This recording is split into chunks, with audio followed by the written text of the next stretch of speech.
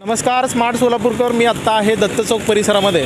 आणि आत्ता माझ्या मागे तुम्ही पाहताय इकडे आय लव सोलापूर असं एक मोठं स्लोगन लिहिलेलं आहे. त्याच्या बाजूला जुनी मुतारी आहे. पूर्वी जिथं आत्ता सुशोभीकरण करण्यात आलेलं आहे त्या ठिकाणी मोठी कचराकुंडी होती. शेजारी मुतारी आणि त्याच्या बाजूला कचराकुंडी. असं एक दुर्गंधीयुक्त वातावरण पूर्वी होतं. स्मार्ट सिटीच्या माध्यमातून महानगरपालिकेच्या माध्यमातून या ठिकाणी सुशोभीकरणाचं काम झालं आहे आय लव सोलापूर असं मोठ्या अक्षरात लिहिलेलं स्लोगन आपण पाहतोय. काहीजण या सुशोभीकरणाला विरोध करतायत. त्यांचं असं म्हणणं आहे की हे छान केलं आहे पण हे मुतारीचे शेजारी कशाला आम्ही सेल्फी कसं घेणार? असं लोकांचं म्हणणं आहे. पण या परिसरात आता आम्ही येऊन काही व्यापाऱ्यांशी काही दुकानदारांशी आम्ही संवाद साधला. त्यांचं असं म्हणणं आहे की सर या ठिकाणी पूर्वी मोठी कचराकुंडी होती. आत्ता काहीतरी सुशोभीकरण होतं आहे आणि ही चांगली गोष्ट आहे. खरं तर याला सोलापूरकरांनी सपोर्ट केला पाहिजे.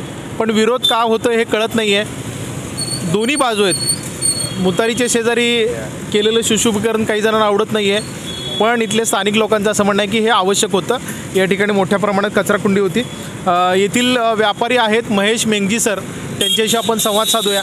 त्यांचं नेमकं काय म्हणणं आहे किंवा हे सुशोभीर सुशोभीकरण नेमकं का आवश्यक होतं हे त्यांच्याकडून जाणून घ्या. महेश सर नमस्कार. स्मार्ट सोलापूरकर मीडियावर तुमचं स्वागत आहे. गेल्या चार चार चार पाच दिवसापासून एक चर्चा आहे की दत्त चौकात हे जे सुशोभीकरण करण्यात आलं आहे ते चुकीच्या पद्धतीने झालं आहे मुतारीचे शेजारी हे करणं आवश्यक नव्हतं. दुसरीकडे कुठेतरी करायला पाहिजे होतं. पण तुम्ही ते लोकल आहात या भागात राहता. आणि या ठिकाणची पूर्वीची स्थिती तुम्हाला माहिती आहे आणि जे बदल झाले ते तुम्ही स्वतः डोळ्याने पाहिलेत. तर का बदल आवश्यक होते? किंवा लोक जे विरोध करत आहेत त्यांना नेमकं काय म्हणायचं तुम्हाला? काय सांगाल? नमस्कार मी महेश मेंगजी एक येथील व्यापारी. तर भाजपचं कार्यकारिणी सदस्य म्हणून मी कार्यरत आहे. मुळात ही जागा म्हणजे ही आत्ता अलीकडच्या काळात इथं कचराकुंडी निर्माण झालेली होती. पूर्वी हा ही जागा जुना टांगा स्टँड म्हणून ओळखलं जात होतं पूर्वीच्या काळी. फेमस होतं. फेमस होतं. त्यानंतर त्या दरम्यान ह्या जागेवर आपलं श्री संत गाडगेबाबा महाराज स श्री संत गाडगेबाबा महाराज अभियानाअंतर्गत जे सुशोभीकरण काम करण्यात आलं सुशोभीकरणाचं तेव्हा हे व्यवस्थितपणे इथं एक लहानसं गार्डन करण्यात आलं होतं. मग त्या काही वर्षानंतर काही कालावधीनंतर इथं दुर्लक्ष झाल्यामुळं कचराकुंडीचं स्वरूप निर्माण झालं आणि पडझड झाली ती त्यामुळं शहरातील अनेक कचराकुंडी सध्या बंद आहेत. अनेक ह्या परिसरातील बहुतांश लोक इथं कचरा आणून टाकत होते. त्यामुळं येथील रहदारीस कचरा पूर्णपणे रस्त्यावर येत होता आणि गायी कुत्रे जनावरे थांबून अनेक छोटे मोठे अपघात देखील इथं अनेकदा घडलेले आहेत. आम्ही इथले सर्व व्यापारी व परीट समाज बांधव कारण त्यांचे ते राष्ट्रसंत संत गाडगेबाबा महाराजांच्या नावानं उद्यान असल्यामुळं. आम्ही अनेक वेळा महानगरपालिकेला पत्रव्यवहार केलं विनंती केली. त्यानुसार गेल्या दोन वर्षापासून आम्ही पाठपुरावा करत होतो की सदरचा भाग सुशोभीकरण करून स्वच्छता ठेवण्यात यावी. त्याप्रमाणे ह्यांनी ह्या कामास सुरुवात केलेली आहे आणि काम अगदी व्यवस्थितपणे चालू आहे. त्यामुळे येथील सर्व नागरिक व्यापारी हे म्हणजे ह्या कामामुळं आनंदित आहेत. ज्या लोकांनी याला विरोध केला आहे मुतारीच्या शेजारी आय लव सोलापूर लिहिलं आहे म्हणून किंवा सेल्फी पॉईंट अशा ठिकाणी असतो का म्हणून त्यांना काय उत्तर सेल्फी पॉईंट म्हणून म्हणतच नाही याला. आमचं एकच म्हणणं होतं की सोलापूर शहराच्या सौंदर्यात भर पडायला पाहिजे. त्या दृष्टिकोनातून स्मार्ट सोलापूर म्हणून ओळखलं जायला पाहिजे. ह्या दृष्टिकोन कोणातून इथं आपण सुशोभीकरण करण्याचं काम केलेलं आहे. सुशोभीकरण ह्यामुळे नक्कीच सोलापूर शहराच्या सौंदर्यात भर पडेल असं येथील सर्व व्यापाऱ्यांना आणि नागरिकांना वाटतं आहे जे लोक याला विरोध करतात त्यांना काय उत्तर? विरोध विरोध असं कोण केलेत असं तरी आजपर्यंत म्हणजे आम्ही तर आहे फक्त आपल्या माध्यमातून ऐकतो आहे पण जनरली विरोध आहे असं वाटत नाही. कारण चांगलं काम होत असेल तर कोण विरोध करायचा कोणाचा प्रश्न येत नाही आहे ह्या याच्यानं लोक अनेक ठिकाणी अशा प्रकारचं हे करण्याचं हे करतील. म्हणजे हे महापालिका प्रशासनाने किंवा स्मार्ट सिटी अंतर्गत खूप छान झालेलं आहे. याचं सध्याची स्थिती आपण पाहतोय. पण याचे देखभाल दुरुस्तीचं काय? बऱ्याच ठिकाणी महापालिका करून निघून जाते आणि मग पुढं कोणीच काळजी घेत नाही. आणि ह्या पुढं देखील आम्ही इथं व्यापारी.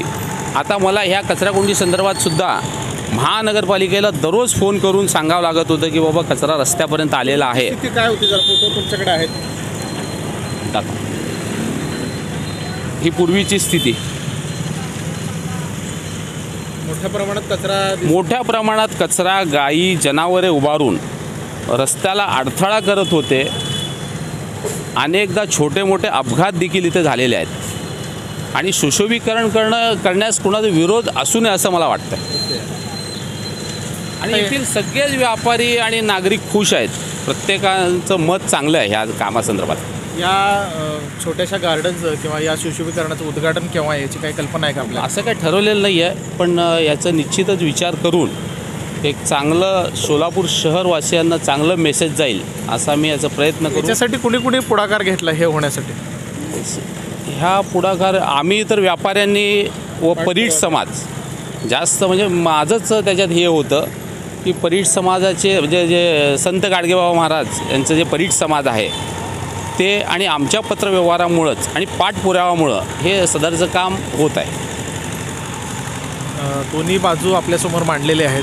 दत्त चौकातून आपण जेव्हा नवी पेठेकडे जातो त्यावेळेला ही मुतारी आपल्या कल्पनाच आहे. त्याच्या शेजारी आय लव सोलापूर अशा पद्धतीचं मोठं अक्षरामध्ये स्लोगन लिहिलेले आहेत या ठिकाणी छोटंसं लॉन करण्यात आलेलं आहे. त्याच्यावर मोठ्या अक्षरामध्ये आय लव सोलापूर लिहिलेलं आहे.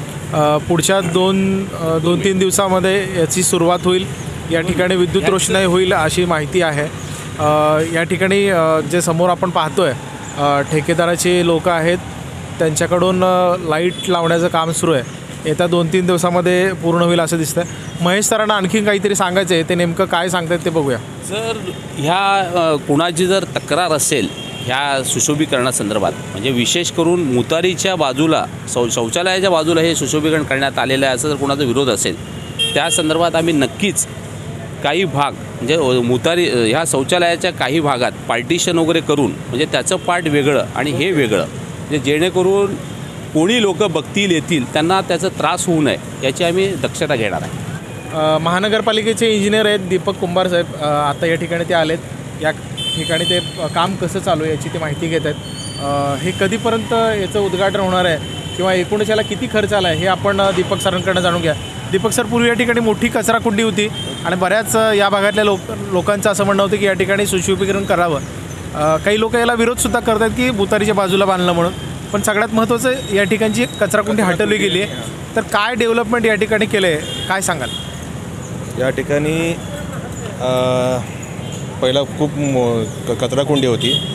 कचराकुंडी त्या काढल्यावर इथे द दत्त चौक सुशोभीकरणच्या नावाखाली इथं लॉन रेलिंग ग्रेनाईट आणि जरा इन सोलापूर मासे लोक असं करण्यात येत आहे. अंदाजे याचा ह्याचा खर अ, ह्याचा खर्च आहे तीन साडेतीन लाख रुपये खर्च आहे त्यांना.